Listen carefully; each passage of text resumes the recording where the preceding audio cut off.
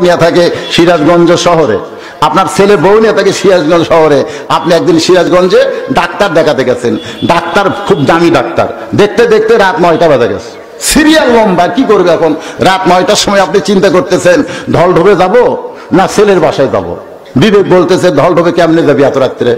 ছেলের বাসায় যা। তখন বাবা ছেলের বাসায় গিয়ে ডাকতেছে, আবদুল্লাহ! ছেলের নাম আবদুল্লাহ।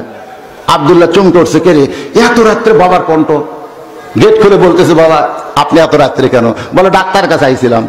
ডাক্তার দেখতে দেখতে নয়টা বাজলো। এখন গ্রামের বাড়িতে কেমনে যাই? এই জন্য তোর বাসায় আইছি, বাজান। আবদুল্লাহ হাত ধরে বলতেছে, আমার ভাগ্য ভালো। আপনি আমার বাসায় আইছেন। শোভা ঘরে বসাইছে বাপকে। বাবা শোভা ঘরে বসে আছে। আবদুল্লাহ বইয়ের ঘরে যায়, দেখে বউ কম্বল গাবদা শুয়ে আছে। আবদুল্লাহ কয় কে গো, সুতলা কেন? আব্বা এসে শোনুনি। কয় হ্যাঁ শুনলাম তো। আবদুল্লাহ কয়, ডাক দিল না? মানুষ বুড়া হলে হুঁশ আক্কেল কমা যায়। এটা একটা আসার সময় হলো। ভাই তুমি উঠে একটু খাবার দাও। বলে, তুমি জানো না আমার মাথা বেদনা করতেছে, পিঠ শিশির করতেছে, আমি উঠতে পারব না, তুমি পারলে খাবার দাও। বাপ বলতেছে, আবদুল্লাহ, অসুস্থ বউকে কষ্ট দিস কেন? আমার খাওয়া লাগবে না। আমার খাওয়া লাগবে না, একটু থাকার জায়গাতে তখন আবদুল্লাহকে বাবা, ওই ঘরে ঘুমান। রাত নয়টার সময় বাবা না খায়া ঘুমাইছে। এগারোটার সময় আবদুল্লাহর শালা।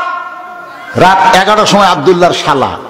গেটে ডাকতেছে সে বলে আপা যেই ডাকছে, আবদুল্লাহর বউ ছিল বাম সাইডে, আবদুল্লাহর ডান সাইডে।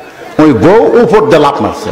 স্বামীর উপর দিয়ে লাভ মেরে সে গেট খুলে বলছে যে কে ভাই, এত রাত্রে কোনো খারাপ খবর? বলে, না, খারাপ খবর কেন? বন্ধু বান্ধবের সঙ্গে ঘুরতে ঘুরতে রাত হয়ে গেল। আমি চিন্তা করলাম, বাড়িতে আর যাব না, আমার বোনের বাসার যাব। এই জন্য আইলাম। বোন বলতেছে, আয় ভাই, আয়। তুই যখন খুশি, তখন আসবি, অসুবিধা নেই।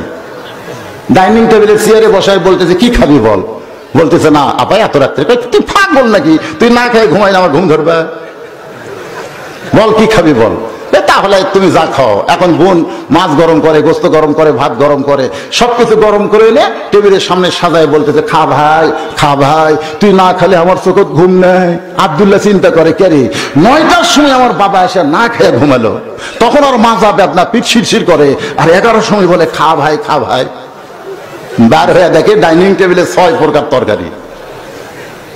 আবদুল্লাহ আস্তে আস্তে, বাবা যে ঘরে ঘুমায় ওই ঘরে জানলার কাছে গিয়া তাকায় দেখে জিরো বাল্বের আলোতে বাবার মুখটা শুকনা দেখা যায়, বাবার মুখটা শুকনা দেখা যায়। আবদুল্লাহর চোখের পানি বের হচ্ছে, আল্লাহ যে বাবা আমাকে না খায় লেখাপড়া করাইলো যে বাবার জন্য এত কষ্ট করল, আজকে সেই বাবা না খায়া ঘুম পাড়তেছে, আর আমার শালার সামনে ছয় তরকারির ভাত, এখন আমি কি করব? এমন সময় ভিতর থেকে আল্লাহ বলতেছে, এই কোরআনের ভিতর থেকে বলতেছে রব্বুকা আল্লাহ ইল্লা বিল ওয়ালিদাইনি হাসানান। আব্দুল্লাহ রে, আল্লাহর পরই তোর কাছে সবচাইতে দামি হলো তোর বাবা মা।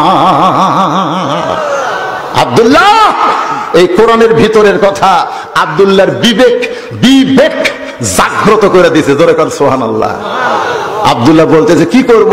বিবেক বলতেছে, বদর যুদ্ধ কর। বদর যুদ্ধ ইমান যদি বাঁচাবার চাস, বদর যুদ্ধ কর। আবদুল্লাহ কয়, কেমনে? বলে, খোঁজ করে দেখ। গোটা বাসা খোঁজ করে দেখে আবদুল্লাহ দেড় হাতে একটা লাঠি। ধরে কোন কয় হাতে লাঠি? লাঠি নিয়ে বলতেছে, কি করব? বিবেক বলতেছে, দেখে শোনা মার বর্তমানে নারী নির্যাতনের কেস চলতেছে।